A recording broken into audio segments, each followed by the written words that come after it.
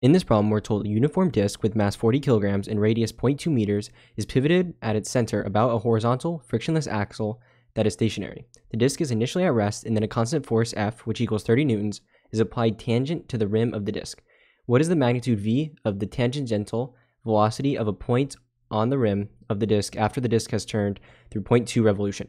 And then b is what is the magnitude a of the resultant acceleration of a point on the rim of the disk after the disk has turned through 0.2 revolution. So what we're going to want to do here is just go ahead and start with A. So the first thing that we want to know for A is what they're asking us for. So we're trying to find the tangential velocity, right? And so the formula for this, right, we can say V sub t uh, because we're trying to find this kind of velocity. And you need to know the formula for that is r omega.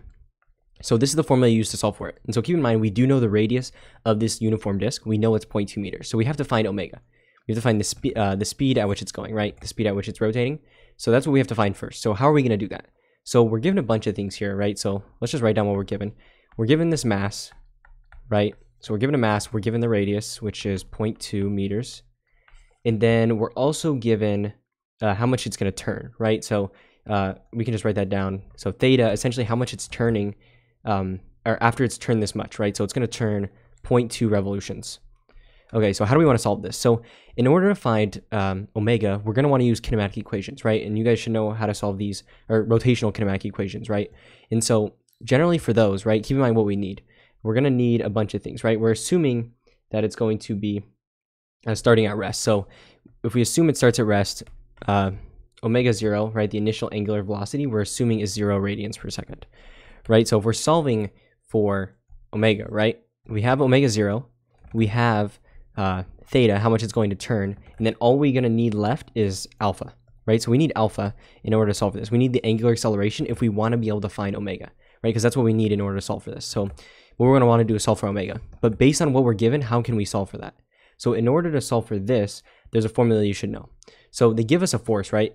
I actually didn't write that down yet, but they give us a force which is 30 newtons. So based on what they give us, they give us mass and radius. And generally when they do that, they're talking about inertia. They want you to solve for some inertia and we're also given a force, which basically means we can calculate torque.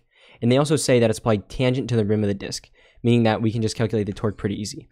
Uh, uh, they could also give us an angle, but in this case they don't. They just say it's tangent uh, to the tangent of the rim of the disk. Okay, so what is the formula we're going to use to solve for alpha? So the formula you should know is that the sum of the torque, or just torque in this case since there's only one force, is equal to I alpha. Okay, and so what this means, if we can find the inertia and we can find the torque, we're going to be able to solve for alpha. And then we can plug it into the kinematic equation, rotational kinematic equation, and be able to solve for omega, and then we can solve for uh, the tangential velocity. So that's what we're going to do. So let's just solve for the different things we need. So if I divide both sides by i, right, we know that alpha is going to be equal to the torque divided by the inertia. So let's solve for each of them. So let's start with the torque. So we know the formula for torque is just r times f times the sine of theta. Theta being the angle between, um, right, if we have a circle like this, let's say the force is being applied right here, right, it's tangential, uh, the angle between the radius and the force. In this case, it's going to be 90 degrees, and we know the sine of 90 is just 1.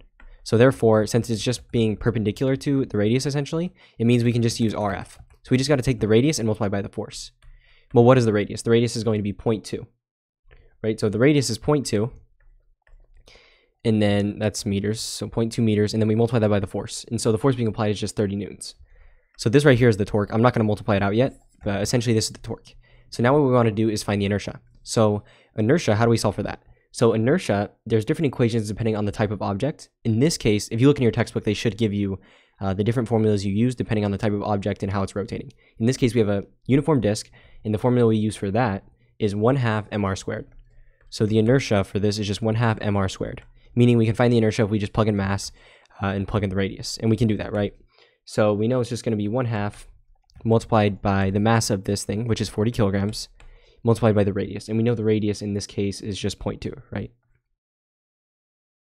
So if you go ahead and do this, uh, right, so I'm actually going to multiply this one out. It's going to be 0.8, and then the units are, uh, this is kilogram, and then this is meters, and it's going to come squared. So it's just kilogram meters squared. So cool. So now we've got uh, the inertia and we have the torque. So we can solve for alpha now, the angular acceleration. So meaning it's going to be the torque, which we know is uh, right here, 0.2 times uh, 30, multiplied or divided, right, by the inertia. And the inertia in this case is just 0.8. Yeah, so go ahead and do this, right? So plug in your calculator, just do 0.2 times 30, and then you want to divide that by 0.8. So when you do this, you're going to get 7.5. And then keep in mind the units in this case. It's going to be, uh, we measure acceleration in radians per second squared. Right?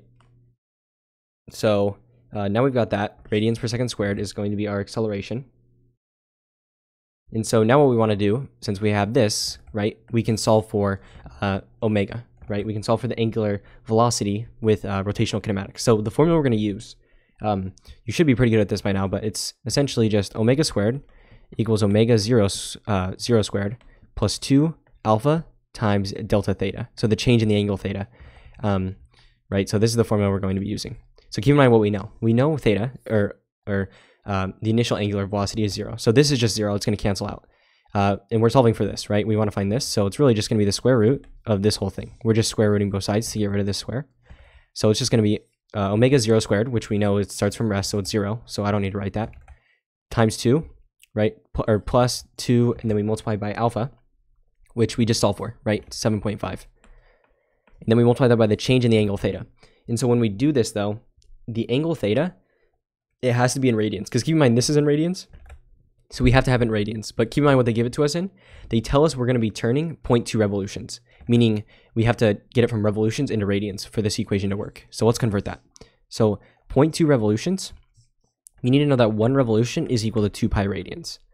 Okay, so if we want to convert, we can just multiply by 2 pi, right?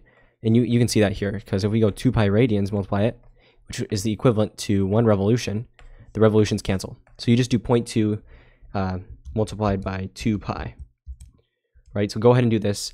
You're going to get that it equals uh, 1.257 radians, right? So now we have the change in the angle theta, right? Because this is how much it's saying it's rotated after it's turned this much. So 1.257, uh, that's going to be the, right? That's just this, right? So 1.257 radians. So now we've got this, right? So if you just do the square root of 7.5 times 1.257, you're going to get uh, what it is, right? You're going to get omega. And that's exactly what we need to solve for this. So if you do this, right, you're going to get about 4.342 radians. And then keep in mind what's measured in radians per second, right? So this right here is omega. And now we can just plug it in to uh, this formula here and we can solve, right, for the tangential uh, velocity. So v equals r omega plugging it in, v equals the radius, which we know of our disk, right, is 0.2 meters. Multiply that by omega, which is 4.342. So if you go ahead and do this 0.2 times 4.342, you're going to get about 0.868 meters per second. Right? So keep in mind the units, velocity is meters per second, and you can just ignore the radians essentially. They're like unitless, right? Because this would be meters. This is radians per second, and then the radians just kind of go away. They're unitless. But yeah, so this right here is going to be, uh, yeah, so this right here is going to be the tangential uh, velocity, or your answer to A, right? So 0.868 uh, meters per second. So this is A. Now what we want to do is move on to B. So what is B asking us for? B is going to be the magnitude A of the resultant acceleration of a point on the rim of the disk after the disk has turned through uh, this amount of revolutions. Okay, so how do we want to solve for this? So what they're trying to uh, they want us to find is the resultant acceleration. Okay, and so the formula for resultant acceleration there's two components to it. So essentially the formula is the resultant acceleration is equal to the square root of uh, the tangential tan tangential uh, acceleration squared plus um, the centripetal or radial acceleration squared. So this right here is the formula you use. So what we need to do is calculate both of these values, this one and this one, right? So there's different formulas for each of these. Let's just go through, let's do this one first. So uh, this acceleration, the tangential uh, acceleration is going to be equal to r alpha. So just like this one was, or the tangential uh, velocity was r omega, this one's r alpha, okay? So this one's pretty easy, right? We know alpha and we know uh, the radius, correct? So it's just going to be the radius, which we know is 0.2, multiplied by uh, alpha, right? Which we just calculated in the last problem. It was 4, or uh, yeah, we just calculated it in this problem, right? 7.5 radians per second squared, right? Because this is after it's, okay, keep in mind what it is. It's after it's turned 0.2 revolutions, right? And in this last problem, uh, this was calculated after it turns 0.2. Or this was, but essentially this is still the same, right? So, uh, yeah, so because this didn't really take into account. But yeah, so it's just going to be 7.5. Uh, and so you just want to do 0.2 times 7.5. And when you do this, you're going to get 1.5 uh, meters per second squared, right? Now let's do the other one. So uh, the centripetal or radial acceleration is just equal to r times omega squared, right? And so this is the formula we're going to use. But keep in mind, this is where uh, the last problem comes into account, uh, into account, right? So omega, this was after it's turned two, and that's why they tell you this, after it's turned 0.2 revolutions, because this is uh, the speed is going after 0.2. So they, they made it easier just because you wouldn't have to solve for it again, because it's the same. So it's just going to be the radius again, which is 0.2, multiplied by omega squared, which omega is the same as this one, right? So 4.342 uh, squared. So just square this value right? So let's just plug this in. So times 4.342, square it. Yeah, so when you do this, you're going to get 3.771, and then the units are meters per second squared again. So they're the same units. So now we have both of the values, right? And we can just plug it into our formula. So we just do the square root of uh, this one right here, so 1.5 squared plus uh, 3.771 squared, right? Yeah, so go ahead and do this, right? So square root 1.5 squared plus 3.771 and then square that. Yeah, so when you do this, you're going to get uh, 4.058. I'm just going to round to 4.06. So 4.06, and it's going to keep the same units. So meters per second squared. So yeah, 4.06 meters per second squared, that's going to be the magnitude A of the resultant acceleration, right? So this is your answer to B. So B is this. Uh, this right here was your answer to A. But yeah, so these are your answers, and hopefully you found this useful.